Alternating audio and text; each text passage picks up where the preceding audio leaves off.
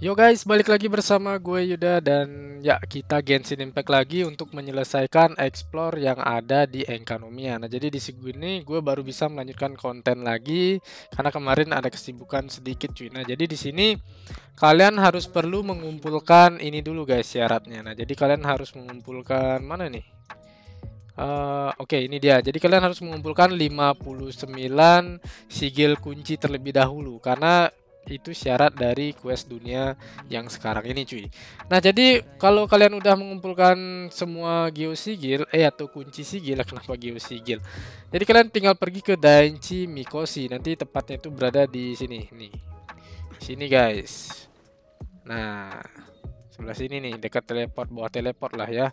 Nah jadi di sini ada ruin nanti kalian tinggal buka pintu dua itu ya jangan lupa bawa pyro karakter untuk membuka kuncinya. Oke, kita mulai aja langsung quest dunianya, guys. Jadi di sini kita harus lawan dua ruin dulu ya kan. Biar bisa dapat chestnya itu. Oke, let's go. Jangan lupa bawa DPS terkuat kalian, guys. Karena nanti kita bakal melawan banyak monster juga ya kan. Oke, jika udah mati ruin guardnya, kalian bisa ini hidupin ya. Nanti bi biar pintunya terbuka, cuy. Nah, jangan lupa pakai Evernight ya atau mode malam biar uh, ini setannya kelihatan, guys. Oke, ini dia. Jadi ada setannya. Oke, jadi misi kali ini atau quest dunia kali ini kalian harus mencari tiga ini, guys. Tiga benda untuk diletakkan di belakang ini, abiraku ini ya.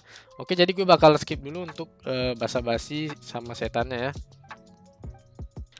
Oke guys, setelah berbicara dengan abiraku kita disuruh mencari tiga ini ya benda-benda keramat. Nah, jadi di sini udah gua kasih lokasinya.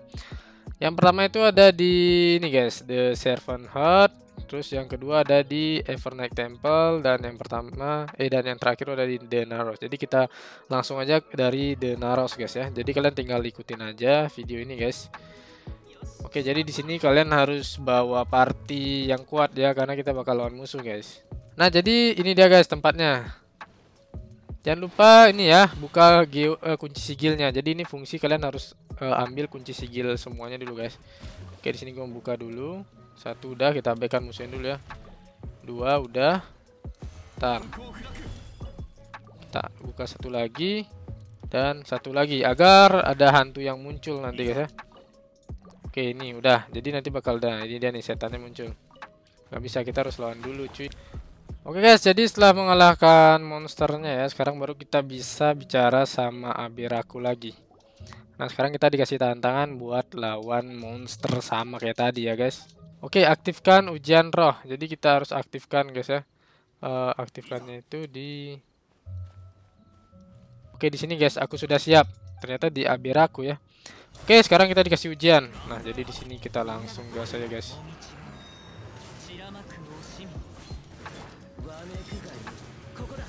Boom.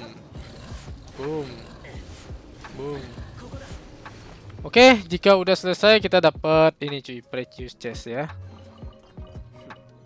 Oke, jangan lupa tanya ini lagi. Coba kita tanya. Oke, udah berakhir ya. Sekarang kita lanjut ke tempat yang kedua. Nah, di sini kita udah dapat itemnya satu, guys. Ini dia nih. Nah, ini. Deneros. Oke, kita lanjut ke tempat yang kedua itu di Evernight Temple sebelah sini. Oke, ini dia guys, tempatnya berada di bawah sini. Oke, kita taruh dulu kunci sigilnya.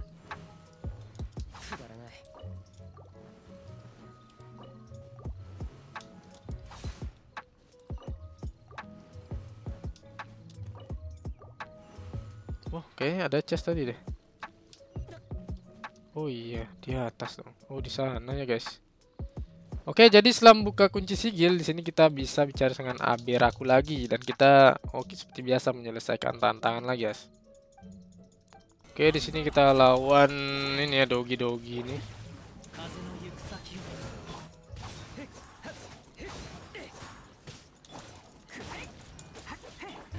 Oke guys, sudah selesai lawan ya tantangan yang kedua. Kita ambil precious chestnya. Wow, kita dapat achievement baru ya. Dan jangan lupa tanya ini ya lagi ke Abiraku biar dapat item yang kedua, guys. Oh guys, kita udah berada di tempat yang terakhir yaitu The Serpent Heart. Jadi di sini ya tempatnya kalian tinggal teleport aja. Jangan lupa taruh kunci sigilnya terlebih dahulu lagi. Hop. Hop. Oke, udah. Oke, udah. Sekarang hantunya, hantunya muncul guys. Kita tanya lagi ya. Wih. Bismek ya.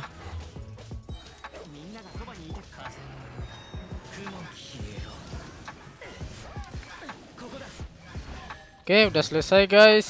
Kita ambil dan kita udah dapet uh, yang terakhir ya ini. Jadi sekarang kita tinggal balik ke ini cuy, ke tempat yang pertama. Oke guys, ini dia tempatnya yang awal tadi kita masuk dan serahkan ini ya, barang-barang ini yang ketiga ini. Oke, jadi kita letakin di sini guys.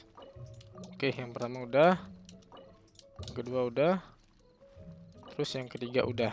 Nah, nice. Sekarang kita lihat ada cerita baru lagi ya. Oke, ini terbuka sebuah apa nih? Gerbang lagi ya.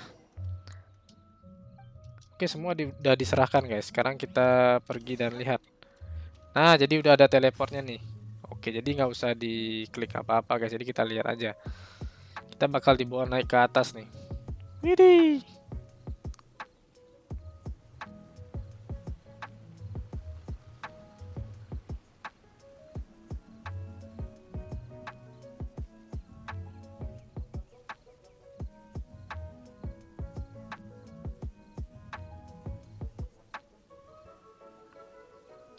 Wow, tempatnya di atas banget ya guys. Jadi Oke.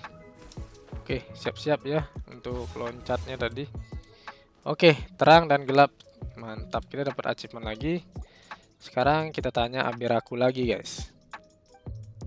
Oke guys, sudah selesai berbincang-bincang. Sekarang kita mendapatkan kekang ilahi ya guys. Jadi kekang ilahi. Mana sih dia nih kekang ilahi?